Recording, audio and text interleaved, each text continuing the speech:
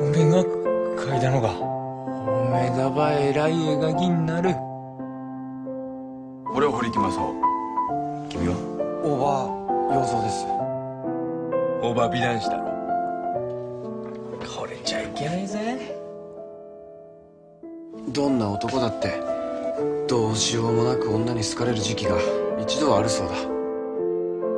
不潔な時期だよ、はあ、言ってくれますねこの女出しちゃ堀木さん。一緒に死のうか。あなたは一体これからどうするつもりでいるんですか？大人の男をなめるなよ。そこをなんとか頼む奥さん。キスしてあげるから。気に入らねえな。だからおめえは俺でお前はおしまいだな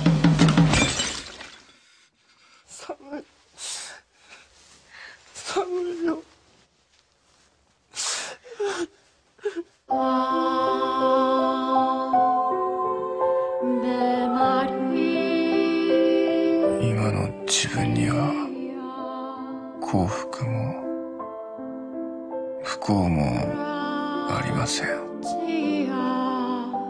ただ一切は過ぎていきます。ザ・フォーリン・エンジェル人間失格。